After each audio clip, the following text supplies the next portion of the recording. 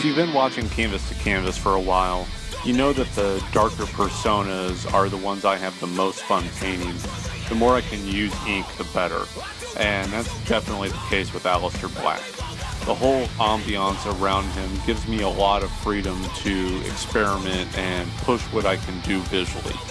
With this one, I wanted to vibe on one of my artistic influences, Mike Mignola, who's known for putting quite a bit of black ink on a page himself.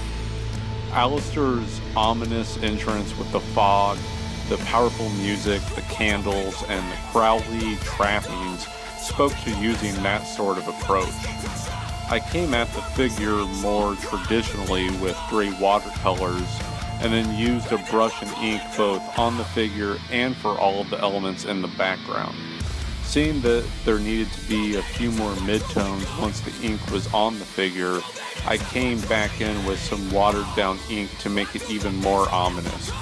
That really makes him pop out from the more illustrative approach to the background, but keeps it all of one composition at the same time.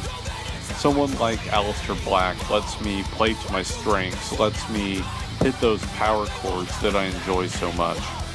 My personal favorite part of each watercolor painting I do is when I start dipping a brush in an inkwell and putting those bristles on the paper. There's an immediacy to it coupled with the possibility of something going wrong that can't be fixed. I have to fully commit to each line I put down without doubt or hesitation. I love the hell out of that.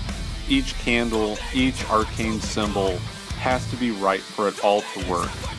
And with this Aleister Black piece, I think it works. And there's the finished piece. Not bad. Buy it now!